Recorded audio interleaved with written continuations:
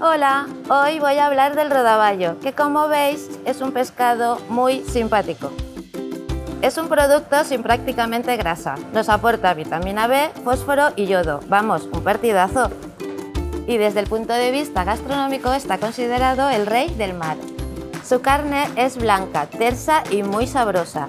Si queréis probarlo con todo su potencial, os lo limpio de tripas y agallas y a la brasa está buenísimo o le saco los lomitos y al horno con unas patatas, cebolla, ajos y vino blanco, en media hora lo tenéis listo.